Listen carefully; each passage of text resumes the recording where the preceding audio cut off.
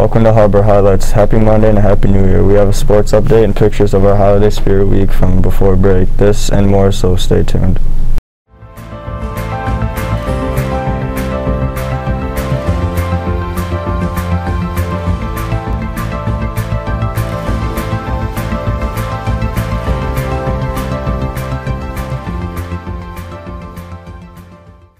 Hi, I'm Chauncey. And I'm Gus. To start our show, please stand for the Pledge of Allegiance.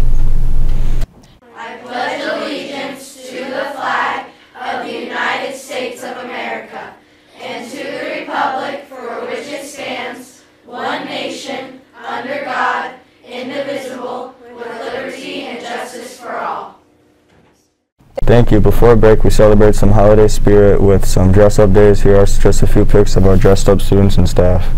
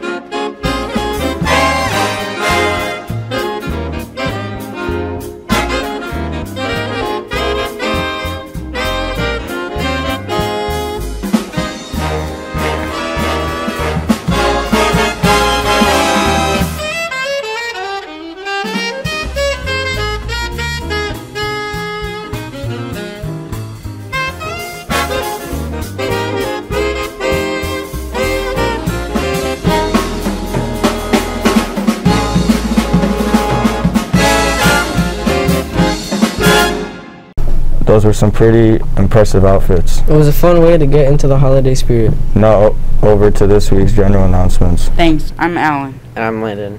Here are this week's lunch specials. Tuesday is nachos. Wednesday is the special for the week corn dogs. Thursday is pasta, and Friday is mo- mozzarella sticks. We have a few students signed up to complete in this year's spelling bee. Today is the last day to turn in your form if you want to compete. The bee will happen on Wednesday after school, beginning at 3. Now we have Miss Morales with a quick update from the counselors. Hi, I'm Miss Morales for a quick counselor update. What is the best way to access the office or get a scheduling appointment? That is a really good question. So it is really important that each um, grade level stay in the correct um, counseling classroom, Google Classroom that we have set up for you. So earlier this year, you know, we blasted those Google Classroom codes everywhere. Um, now would be a great time to do a double check of all your classrooms and make sure that you're there because all of the counseling information is available in um, our Google Classroom. There's a link that's right at the top, and that's how you continue to request an appointment to see us. We still are not doing walk-ins, um, you know, because of uh, COVID-19 safety precautions, and so it is important that you either um, access the Google form and fill it out, or you can, um, of course, email your counselor directly to request an appointment. What other information is available in the Google Classroom? So, if you will recall, um, the counselors push out information usually like mental wellness tips. We also provide career um, exploration information there. And anytime we're made aware of opportunities in the community, you'll see that we publish information there too. So, for example, CultureWorks is actually offering some spring workshops um, that students can register for. So, you'll see very soon that the counselors will post an update for that out of school opportunity that you might register for. So, it is important to stay in the classroom um, because that's where we communicate with each of our classes, our sixth, seventh, and eighth graders. What are some good tips for mental health this winter? So, obviously, winter has kind of just started for us. You know, we're just back from winter break. We finally have some snow. Um, but COVID 19 has not gone away. And so we do need to continue to take care of ourselves, keep our stress levels down. And so we've got some ideas for you that you can use inside as well as some outdoors. We're all different types of people. Some people like the outdoors, some people don't.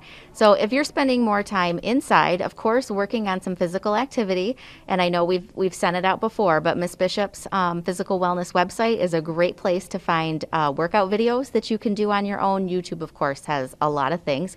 Um, but in addition to physical fitness inside, we want to keep busy. We want to keep our brains engaged. We want to um, be able to express our feelings. So I would encourage you to get crafty or maybe learn a new skill. Maybe ask um, if you can learn how to cook or to bake.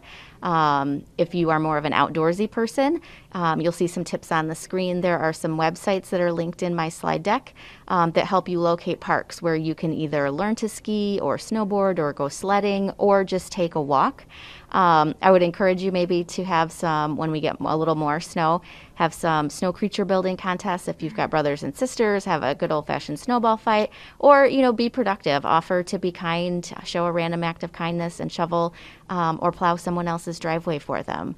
Um, so we do want to stay active. We want to keep our bodies active as well as um, our brains. And so I would encourage you to think about crafts, think about hobbies. Um, of course, reading. You know, we're here in the library right now, and of course, Miss Boston is amazing at helping us pick um, new books if we need them. Um, so the key is to stay busy. Winter is just starting, um, and we need to make sure that we're not just sitting. Um, it's not any good for us. So hopefully those tips will help. If you need more resources, also in the slide deck, you'll see that the counselors have linked some important mental health um, websites and phone lines that you can access if you need them. Thank you, Ms. Morales, for this interview, and thank you for Lily for filming. We're headed into the last two weeks of this marking period. Please make sure that you're checking Infinite Campus. Make sure that making sure that you've completed your work. Now over to sports. Thanks, I'm Lily. And I'm Monroe. If you are interested in going on the ski and snowboard trip this Friday, please pay attention. From now on, please go to Miss Postma's room, room 136, to sign up for the trip with your $7 for the bus. All students that sign up for the trip can go. You must sign up for Thursday at 11 a.m. to go on the trip for Friday. To end sports, we have a quick update from Miss Dysmars about Winter 1 and 2 sports. Hi everyone, it's Miss Dysmars. I have a little update on sports for you guys. So, if the MHSAA allows Winter 1 sports, which are boys basketball, girls swim and dive, and girls competitive cheer, will be able to restart on January 16. Uh, those athletes should look for an email from their coaches as we get closer to that date to see what their practice schedules will look like, along with any updates that may come in the next few weeks. As for Winter 2 sports, which is 7th and 8th grade girls basketball, co-ed wrestling, and boys swim and dive, they are hopefully having their first day of practices and tryouts on February 8. More information regarding times and locations will be coming soon via email through Final Forms and Infinite Campus. In the meantime, students need to make sure that they have a physical on file and a Final Forms account created. Students who have a physical on file from last year do not need to turn in a new physical form, but instead need to turn in the MHSAA Sports Health Questionnaire. Physical forms, the questionnaire, and Final Forms registration instructions can be found in the main office. All of this must be completed before the first day of practices and tryouts. If this is not completed, students will not be allowed to participate. We are super excited that to get back to sports and hopefully they will be starting soon. We hope things get started soon. Thanks for helping us stay safe by wearing your masks and social distancing. This is Fifth Hour's last show. Thanks for watching. Bye! Bye. oh,